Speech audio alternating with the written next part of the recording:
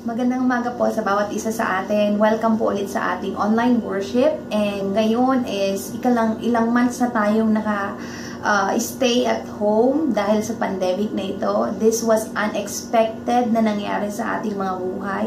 At alam kong marami tayong naranasan na unexpected things during this year 2020 Kumbaga sinalubong natin ito with a clear vision na maganda ang gagawin ng Lord. But still, uh, kahit anumang pandemic ang nangyari sa ating mga buhay, mabuti pa rin ng Diyos at tapat siya sa ating mga buhay. Amen po ba? So ngayon, uh, meron akong nais ikwento sa inyo. Ito yung kwento ng isang babae na meron siyang anak na mahal na mahal niya talaga. And then, uh, pumunta po, everyday napunta siya sa trabaho, iniiwan niya sa katiwala niya yung kanyang anak, And umaalis siya na uh, excited siyang uuwi na makikita niya yung anak niya na masaya, malusog. And then, pumunta siya sa trabaho isang araw. And habang nasa trabaho siya, excited siya umuwi, inisip niya yung anak niya. Um, tumawag yung katiwala niya. So unusual na tatawag yung katiwala niya habang nasa work. And then, yun na nga, uh, unexpected thing happened. Meron daw nangyari hindi maganda sa kanyang anak. So, emergency na kailangan makauwi yung babae. So, may nararamdaman yung anak na unusual. So, nagmamadali siyang bumiyahe. Bumiyahe siya, pero bago siya umuwi, dumaan siya sa isang drugstore para makabili ng mga first aid na kailangan ng kanyang anak. And then, habang nasa loob siya ng, ano, ng store, nagdali-dali naman siyang lumabas para punta sa par- parking lot And then, naalala niya, naiwan niya yung susi ng sasakyan sa loob. Grabe. So, that was unexpected na mangyari. Sa sobrang taranta ng babae, talagang nag-seek siya ng help and walang makatulong sa kanya na makuha yung susi. Ginagawa niya na yung the best. At talagang hindi niya na, na, na nawawala na siya ng pag-asa na makauwi pa siya. So, ang ginawa niya is nanalangin siya, nag-pray siya, Lord, kailangan ko ng tulong, send help. And then, habang nagpipray siya, may dumating na isang lalaki na nakamotorsiklo. At yung, yung, yung lalaki yon yung kanyang dating is malala, malaking lalaki na mahaba ang buhok, yung mga uh, mga bikers, kumbaga. Tapos, sabi niya, Lord, hindi naman to yung in-expect kong tulong. Kumbaga, hindi niya, it, hindi niya kayang mag-ask ng help. So, tinitingnan siya ng lalaki habang ginagawa niya yung best niya para mabuksan yung pinto. And nag-offer yung lalaki ng tulong kung kailangan niya daw ng help. So, nagdalawang isip siya kasi sabi niya, Lord, ito ba yung sagot?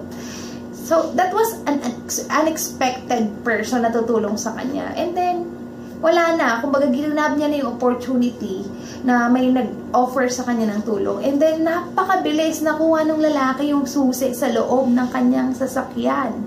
And then, nakakatuwa, sa sobrang saya ng babae, sabi niya, napayakap siya sa lalaki, sabi niya, salamat, answered prayer ka sa akin. Sabi nung lalaki, sabi niya doon sa lalaki, answered prayer ka sa akin. And then sabi nung sabi niya sa lalaki, napakabuti mong tao sagot ka ng Diyos sa akin, sa akin panalangin, sabi ng lalaki, hindi ako mabuti, kakalabas ko lang ng kulungan dahil sa kasong pagnanakaw ng sasakyan.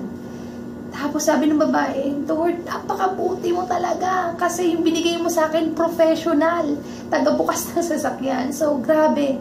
Yung sagot na ina-expect niya is iba sa sinagot sa kanya ng Panginoon. So, grabe yung ginawa ng Lord sa life niya. So, um, I believe merong ginawa sa ating mga ang Panginoon na napaka-unexpected during this season of pandemic, during this season of crisis. Marami siyang mga unexpected answers. Ang pag-uusapan natin ngayong araw is the miracle in our homes, the unexpected answer. So ngayon, ang, ang verse na gusto kong i-share sa inyo is in Isaiah 55 verse 8 to 9. Ang sabi dito is, I don't think the way you think. The way you work isn't the way I work. God's decree. For as the sky soars high above earth, so the way I work surpasses the way you work. And the way I think is beyond the way you think, di ba? Katulad nung sa babae, iba yung ina-expect niya tutulong sa kanya, pero hinigitan pa ng Panginoon, pinadalan siya ng professional.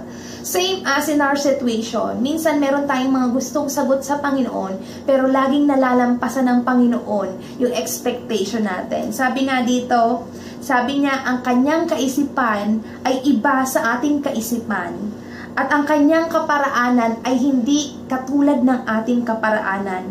Kung paanong ang langit ay mas mataas pa sa lupa, ang aking kaparaanan ay higit pa kaysa sa inyong kaparaanan at ang aking kaisipan ay hindi maaabot ng inyong kaisipan. Ganon i-describe ng Panginoon kung paano siya sumagot sa atin.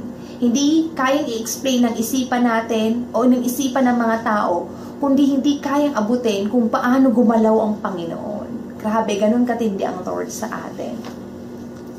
Um, yung, yung story na nagre-remind sa akin eh, with this um, with this uh, situation sa atin is yung kay Job. Since uh, this Sunday is Father's Day, um, ina-impress sa ng Lord yung story ng Job. Ang story ng isang tatay. Um, the summary of the story is this. Uh, si Job ay pinagmamalaki ng Panginoon kasi talagang siya yung nakita ng Panginoon napaka-righteous sa panahon niya. Kumbaga talagang pinagmamayabang niya sa lahat. Nakita mo ba to si Job? Napaka-righteous niya sa akin. Tuwang-tuwa ang Lord sa kanya. And then si Job, pinagpapala talaga ng Panginoon. Kumbaga andun ang blessing ng Lord kay Job. And then ang sabi pa nga dito kung i-describe si Job is blameless siya. Complete integrity kinatatakutan niya ang Panginoon at lagi siyang nag stay away from evil. Sabi dito, meron siyang pitong anak, may tatlong anak na babae, meron siyang pitong libong sheep, tatlong libong camel, limang daang team of oxen, and 500 female donkeys. Ganun siya kayaman, napakayaman ni Job. Napakarami niya din daw servants. In fact, sabi dito, he is the richest person in the entire area. Siya yung pinakamayaman dun sa lugar nila. And sa kwentong to, makita natin na si Job, lagi siyang nagpe, uh, naglagi siyang um, nagpe-prepare ng birth offering kasi yung kanyang mga anak laging nag, uh, nagkakaroon ng celebration at hindi niya alam kung nagkakasala ang kanyang mga anak sa Panginoon. So, ganun siya katinding tatay. Napakabuti niya. He's doing everything para sa kanyang mga anak. Kumbaga, um, kung merong nagawa yung kasalanan yung mga anak niya, kinaumagahan agad, mag-a-ask siya ng, ano, magbibigay siya ng offering sa Panginoon, mag-a-ask siya ng forgiveness sa nagawa, kung meron mang nagawa na patagong kasalanan yung mga anak siya. Ganon kabuting tatay si Job, ba? So, ngayon, ang, to make the uh, long story short, minagmamalaki ng Panginoon si Job, and then, sabi ng kaaway, sabi ni Satan, eh kaya naman yan, ano, nagiging tapat at masunurin sa iyo si Job kasi pinagpapala mo. Subukan mong tanggalin lahat ng pagpapala. Subukan mong tanggalin lahat ng meron siya. Hindi na yan susunod at magtitiwala sa inyo. Pero nangyari nga na sunod-sunod yung nangyaring uh, challenges sa buhay ni Job. Unang-una na wala lahat ng ari-arian niya. Hindi pa tapos magsalita at nagre-report yung servant niya may paparating na naman na agad na bagong balita na talaga magpapalog mo kay Job hanggang sa pinakahuli eh, lahat ng anak niya ay namatay. Lahat ng anak niya ay namatay hanggang sa nagkaroon din siya ng sakit na talaga namang pinandirihan siya, nakakadiring sakit. And ang nakakalungkot pa doon, yung nag-iisang natitira sa kanya, yung an- kanyang asawa, ay meron pa sa kanyang sinabi na talikuran na ang Diyos at sumpain ang Diyos para mamatay na siya. Di ba napakatindi? Yung inaasahan mo nag-iisa na lang na susuporta sa iyo, ay ganun pang sasabihin sa inyo. So the first point that I want, to, I want to share to every, every one of us is this. Naririnig kaya ng Panginoon ang panalangin ni Job? The first thing, this is so basic na i-share ko sa inyo, and this is so practical na malaman natin na, yes, He hears us naririnig ng Panginoon ang bawat panalangin natin.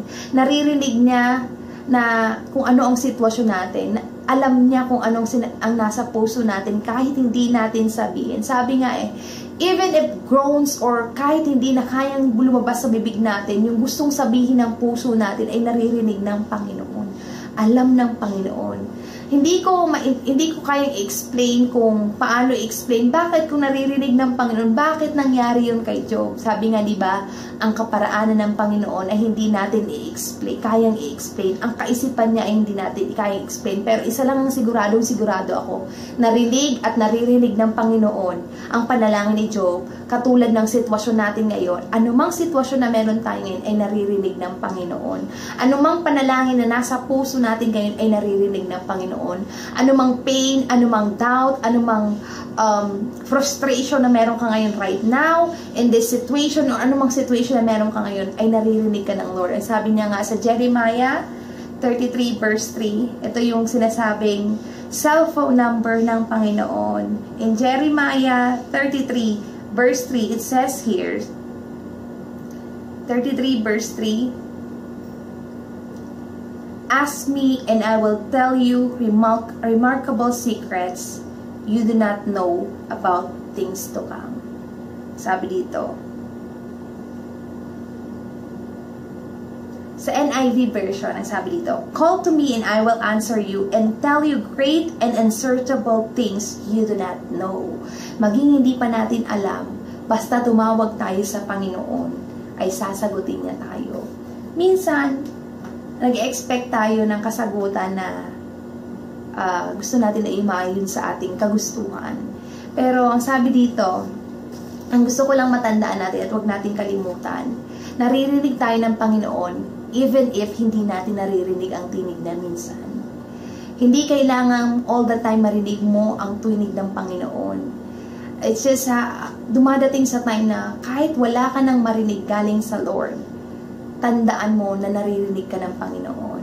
Kahit dumating ka sa point na nahihirapan ka na at nasasaktan ka na, naririnig ka ng Panginoon. Ina-assure na tayo sa kanyang salita. Ang sabi niya, Jeremiah 33 verse 3, tumawag tayo sa kanya. At siya ay sasagot at sasabihin sa atin ang mga bagay na hindi natin maintindihan. Hindi nga lang sa panahon na nais natin ang kasagutan ay dumating, pero sa panahon niya, sa panahon ng Panginoon. Kung babalikan natin sa kaparaanan niya, sa kaisipan niya, kundi hindi, hindi natin kaya i-explain yung kaisipan ng Panginoon. So, nakakatawa sa Lord is, naririnig niya tayo at ang dapat nang na maging response ng puso natin is, Lord, alam kong naririnig mo ko. I just need to trust you. Kailangan kong magtiwala. Kailangan kong manampalataya. Kailangan hindi tayo tumigil sa pagdarasal sapagkat ang Diyos natin ay nakikinig at nagmamatsyag siya sa mga taong nananatiling tapat sa Kanya. Ang Panginoon natin tapat sa atin lahat. Tapat siya sa bawat oras. Naririnig niya ang bawat hinaing ng ating mga puso. Hindi bingi ang Panginoon. Meron ngang awitin, di ba, kung natutulog daw ba ang Diyos? Hindi hindi natutulog ang Panginoon dahil pinapakinggan niya lahat ng panalangin natin. Hindi nga lang niya sinasagot sa, sa kaparaan ng nais nating marinig yung sagot na yon. Minsan sa iba-ibang kaparaanan, minsan wala tayong marinig, pero ang sinasabi sa salita niya, tumawag ka. Tumawag tayo sa Panginoon. And the second thing that I want to share is, He answers. Sumasagot ang Panginoon. And regarding sa kanyang sagot, ang nakakatawa sa Panginoon at kailangan i-ready natin ang ating mga puso dahil ang Panginoon kapag sumagot with regard sa sagot ng Panginoon, with regards to God's answer, expect the unexpected. Yes, lagi mong tandaan na mag-expect ka na na ang sagot ng Panginoon minsan hindi ayon sa expectation mo. Bakit? Kapag, nilimit, kapag nilagyan mo ng limitasyon ng Panginoon na ganito lang ang expectation mo, parang nililimitahan mo na rin ang kayang gawin ng Lord sa buhay mo. Kumbaga, ginagawa mong, ginag, nilalagay mo sa sitwasyon na ang Panginoon na hindi niya na kayang i-exceed yung answer na ina-expect natin laging laging la, lagi nating tatandaan, He will always exceed our expectation. He will always answer in an unexpected way. Katulad kay Job, ang prayer niya is pag maligtas yung kanyang mga anak, mapatawad yung kanyang anak. Bakit ganun ang nangyari? Hindi ko rin alam kung bakit ka noon. Pero ang lagi nating tatandaan, unexpected ang sagot ng Panginoon. At huwag nating hahayaan na yung expectation natin is maging dahilan para magbago yung pananampalataya natin sa Panginoon. Still, maging response natin is ganito, Lord, ito yung sagot na nais ko. Ito yung panalangin na pinapanalangin ko sa iyo. And this is my expectation. But still, I'm giving room for you to exceed my expectation. My heart, I know in my heart that um, always the answer to my prayer is according to your will. At yung sagot na yun ay mag-fit so kung ano ang tingin mo, mas makakaputi sa atin. Dahil lang nakakatuwa sa Lord, di ba? I just read the book of Job. He always exceed the expectation of Job. Um, at the end of the story, nakakatawa yung end of the story ng Job, book of Job, because uh, at the end, after na maglabas din si Job ng mga nararamdaman niya sa Panginoon, dahil assure, sure na sure siya, naririnig siya ng Lord. Ang nakakatuwa sa Panginoon is ni-restore ng Panginoon ang lahat ng meron siya. Kumbaga, ang expectation ng Job, ni Job ay ganito lang, pero uh, ang sagot ng Lord is, twice nung dating meron si Job, ang binalik niya sa kanya. Di ba nakakatuwa? Um, ang prayer mo is ganito, pero twice or exceeding pa yung sagot ng Lord sa bawat prayer na meron tayo. And the last thing that I want to share is, He knows best. He, our Father in Heaven knows the best answer sa atin. Um, maaaring hindi hindi yung gusto natin ang nangyari sa life natin but uh, I want to assure you that He knows what you need. He knows exactly what we need right at the moment, right at this season. He knows what you think you need. Alam ng Panginoon yung iniisip mo pa lang na kailangan mo. And we just need to trust Him that He knows what He is doing. And He hears our prayer. Katulad nga na sinabi ko sa inyo kanina. Uh, isa lang hindi magbabago. God can be can be trusted. Mapagkakatiwalaan natin ang Panginoon. At alam na alam niya yung ginagawa niya right now. Right now, naniniwala ako at nagtitiwala ako, He is at work kung ano ang makakabuti at the best para sa atin. Hayaan lang natin na maging Diyos ang Panginoon sa ating mga buhay. Let God be God over our situation. And uh, God wants us to know and to remind us that He knows what we need and when to give yung mga bagay na kailangan natin. Alam ng Panginoon, kail, kailan niya ibibigay yon. Kasi minsan tayo, Lord, ito ang kailangan ko at the moment na ganitong oras. Pero ang sa, sa Panginoon ganito, alam ko ang pangailangan mo at alam ko kung kailan ko ibibigay sa iyo. That's the best thing. That's the best thing na that's the best at uh, character ng Panginoon ng tatay natin sa langit. Our Father knows best. He's, he knows what is best in all aspects sa ating buhay. Maaring iba sa atin is uh, asking for promotion, asking for love life sa mga kabataan. But alam ng Panginoon kung ano lang ang kailangan mo at this moment. Alam ng Panginoon kung ano lang yung kailangan mo at this season. At alam ng Panginoon kung kailan niya ibibigay yung sagot sa panalangin natin. Kasi siya yung the best tatay sa ating mga buhay.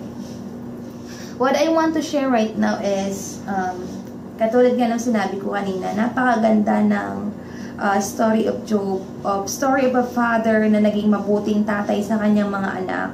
Binigay niya yung pangangailangan ng kanyang anak. At the same time, naging masunurin siya sa ating Father in Heaven. He walked blamelessly and with integrity. Uh, dumating yung pagsubok sunod-sunod sa buhay niya. Pero patuloy niyang sinasabi yung lahat ng nilalaman ng puso niya sa Panginoon dahil siguradong sigurado siya na God hears me. God answers me. Hindi sa kaparaan ng nais natin, pero sa kaparaan ng nais ng Panginoon. And He knows the best for us. Alam niya kung anong the best na ibibigay niya sa atin. Because at the end of the story, as I told you, ng lahat ng masabi na, na ni Job, lahat ng hinanaing niya, lahat ng sakit na nararamdaman niya. Kasi naging totoo lang siya sa Panginoon. Dahil alam niya, naririnig, niya, naririnig siya ng tatay niya sa langit. Sabi niya, ang sabi dito, The Lord gave him twice as much as before. Lahat ng nawala sa kanya, ni-restore ng Lord twice. Di ba? Nakakatawa ang Lord. Unexpected. Unexpected yung sagot niya. And then, hinirestore ng Lord yung lahat ng kayamanan niya. In fact, di ba? Doble pa nung dating meron siya. It was doubled. And then, uh, sabi dito, nakakatuwa. Nagkaroon ulit siya ng mga anak, blines siya ng Panginoon ng mga anak, At yung mga anak ng Panginoon na ni Job, eh, sabi dito kung i-describe, in all the land, no women were as lovely as the daughters of Job. Grabe kung i-describe. And then, um, same as with us na lagi nating tatandaan na naririnig ka ng Panginoon right now. Maaaring um, tingin mo na bakit ganoon? Ha, bakit ganito hindi hindi ayon sa kagust hindi ayon sa ina-expect ko yung sagot ng Lord Lagi mong tatandaan, ang ways ng Lord ay iba sa ways natin. Ang kaisipan ng Lord ay iba sa kaisipan natin at kaparaanan natin. Mas mataas, kumbaga mas matindi, at grabe mag-exceed ng expectation natin ang Panginoon. Just give Him room na i-exceed niya yung expectations natin always.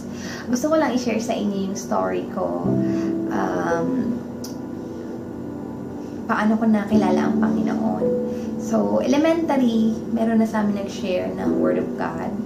And then, naintindihan ko na kailangan kailangan kong i-accept si Jesus Christ as my personal Savior and my Lord na siya na yung masusunod sa life ko. And then, uh, nakasama ko yung mga kapatid ko na na-attend kami doon sa uh, pag-share ng Word of God sa amin uh, ng mga bata pa kami. And then magkaroon kami ng uh, desire sa heart namin na gusto rin namin yung parents namin. And then si mama, nakasama na rin namin sa church. And then one thing na lang is yung father ko. So we're praying na, Lord, uh, yung father ko laging busy sa sa work niya, even if Saturday, Sunday, hindi namin siya makasama sa church. Kumbaga, he was a good provider, but he never hindi kami nagkaroon ng relationship as father and children. Kumbaga, pagdadating siya, kung ano na kailangan namin. But still in our heart, we, um, Lord, gusto kong makakilala, makilala ka ng Panginoon as ikaw ang source ng kung anong meron kami at magkaroon din siya ng relationship relationship sa inyo. So that was the desire of our heart na magkakapatid. But still, Lord, matagal na wala kaming narinig na sagot sa Panginoon. Tuloy-tuloy hanggang mag-high school mag-college, ganun pa rin. And then one day, one day, uh, aksidente siya. Na-aksidente yung tatay ko. Na-stroke siya, nagbumotor siya. And then, um, kumbaga, the expectation was makasama siya sa church. Pero bakit siya na-aksidente? Bakit siya na-stroke? Pero, ang, ang nakakatuwa sa Panginoon, ano mang i-meant ng kaaway for evil, He will surely turn it for good.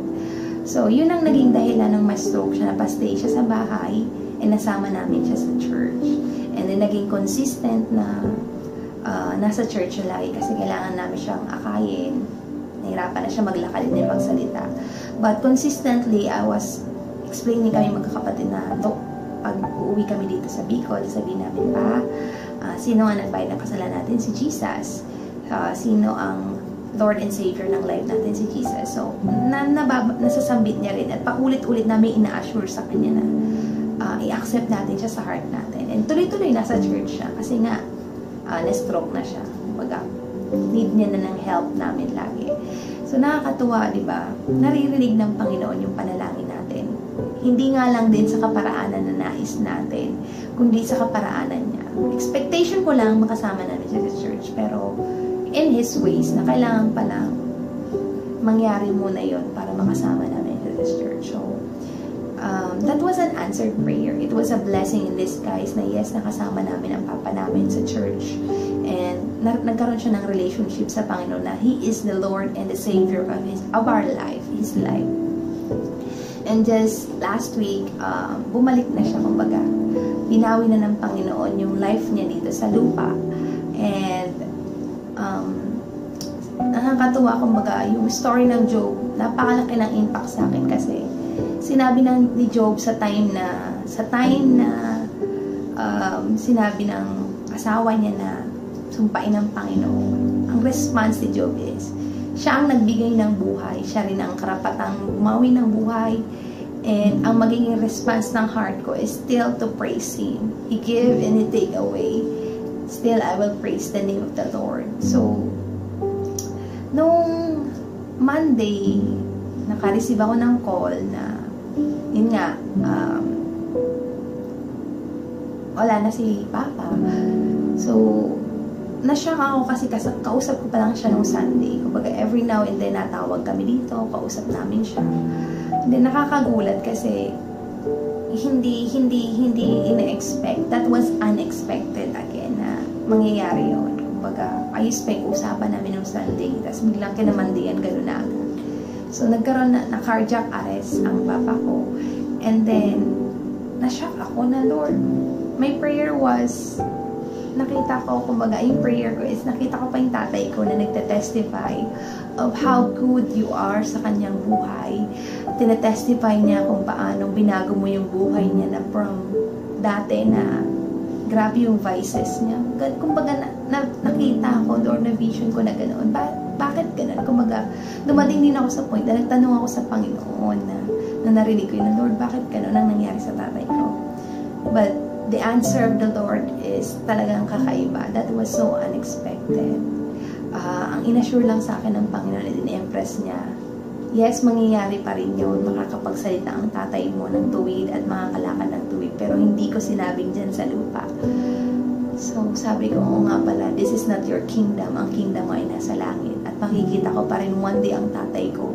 This is just a temporary na naghiwalay kami. But ina-assure sa akin ng Lord at ina-impress niya na in heaven, no more tears, no more illness, no more sickness. But the greatest thing that He answered to me is, my father was saved because he accepted Jesus as his Lord and Savior of his life. Yun ang sagot ng Panginoon. Kumbaga nung na-stroke siya 10 years ago, was a blessing na hindi siya kinuha agad ng Panginoon, kundi binigyan siya ng chance na makilala niya at magkaroon siya ng relationship sa Lord. So, sa ating lahat, maari meron tayong mga panalangin na ina-expect natin yung kasagutan ng Panginoon is the way na nais natin. But lagi nating tatandaan na kakaiba kung sumagot ang Panginoon dahil iba ang kanyang isipan at hindi kayang arokin ang isipan natin, ang isipan ng ating Diyos. At lagi nating tatandaan, ang buhay na meron tayo ay nanggaling sa Kanya at siya rin ang may karapatang bumawi nito. At wala tayong ibang kayang gawin kundi purihin ng Panginoon sa lahat ng oras. So, nagpapasalamat ako sa Lord kasi uh, everything was unexpected. Um, unexpected na ganito ang mangyayari sa amin. Pero our heart is full of joy dahil totoong tapat pa rin ang Diyos at hindi siya nagkulang sa amin sa panganahon na meron kami at sa season na meron kami ngayon. Napakatapat ng Diyos. At alam kong uh, merong purpose ang Lord kung bakit nangyari ito laging may purpose.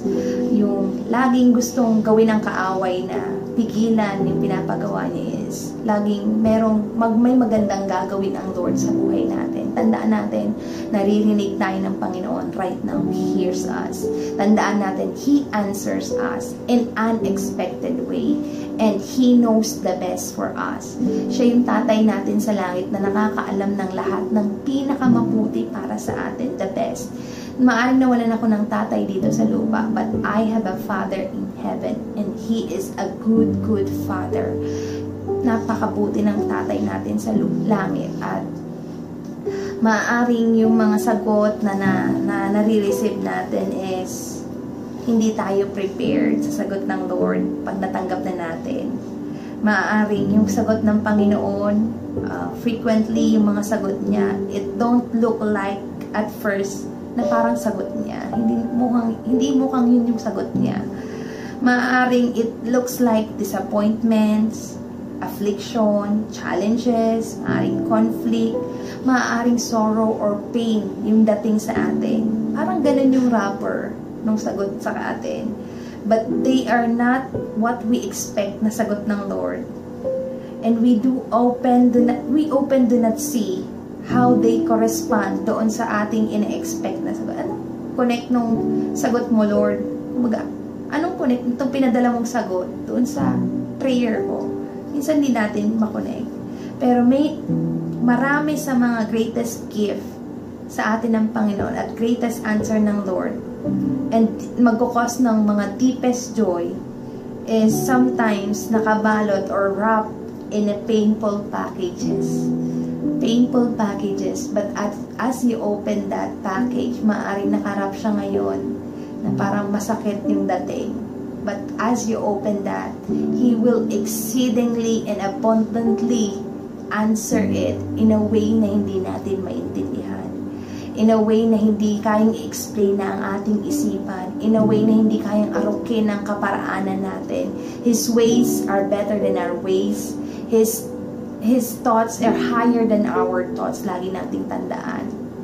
At lagi mong i-assure ang Panginoon, i-assure ang sarili mo na ang Panginoon ay nakakaalam ng the best para sa ating lahat. So whatever you're praying uh, for right now, na sa tingin mo hindi naririnig ng Lord, tandaan mo, naririnig ka ng Panginoon right now, right at this moment. Kung sa tingin mo merong sagot ang Panginoon na hindi na tumutugma sa sagot na in-expect mo, tandaan mo, laging ini-exceed ng Lord ang expectation mo.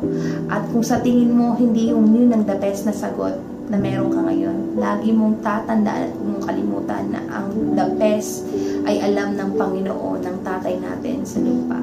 So again, uh, this Father's Day, um, some of us may be na wala ng father, na physical at meron pang father na hindi na hindi hindi na meet yung expectation natin. Pero huwag mong kalimutan you have a big father in heaven that knows the best for us. He's a good good father that is who it is.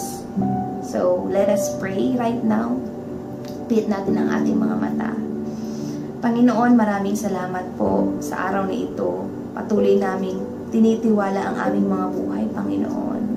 Today we celebrate the Father's Day. You are the best Father, Panginoon, that we have right now, Panginoon. We thank you for the Father that we have here in earth, Panginoon. We, we appreciate them, Panginoon. And we still, Panginoon, would like to thank you because you are our good, good Father in heaven that knows what's best for us, that hears us, that answers us right at this moment. You are our Father that is working right now. You are our Father that give things, Panginoon, nagbibigay ng mga kailangan namin sa tamang panahon na kailangan namin to Panginoon. You know what's best for us, Panginoon. Just like what happened to Job, Panginoon, you will exceed, Panginoon, yung expectation ng Panginoon ng puso namin. And right now, God, mayroong mga nawala sa amin, but I know you will restore, Panginoon, twice kung ano ang nawala sa amin, Panginoon. We declare it and we bless our, Panginoon, binibless namin, Panginoon, mga nakikinig sa panahon ito at sa oras na ito. At siniselyohan namin to ng iyong banal na dugo sa matamis sa pangalan ni Jesus. Amen and amen. And if it's your first time na umattend sa ating celebration today, so we have a short prayer. Just a short prayer. Sabayan nyo lang ako. Just accept Jesus as your personal na Savior and Lord ng buhay mo. Ibig sabihin na ni-acknowledge na tayo ay makasalanan. And then, we acknowledge na binayaran niya yung kasalanan natin on that cross. Tanggapin lang natin si, si Lord Jesus Christ sa ating puso as our Lord and our Savior. And that will assure us of our salvation. And then one day we'll meet in heaven. So let's pray. Lord, I acknowledge that I am a sinner, Panginoon, at salamat dahil binayaran mo ang aking makasalanan. Tinatanggap kita sa aking puso bilang aking Panginoon at tagapagligtas. Panginoon, salamat po, Panginoon, sa buhay na binigay mo sa akin. Simula ngayon, ikaw masusunod sa buhay ko. In the name of Jesus, Amen and Amen. Sa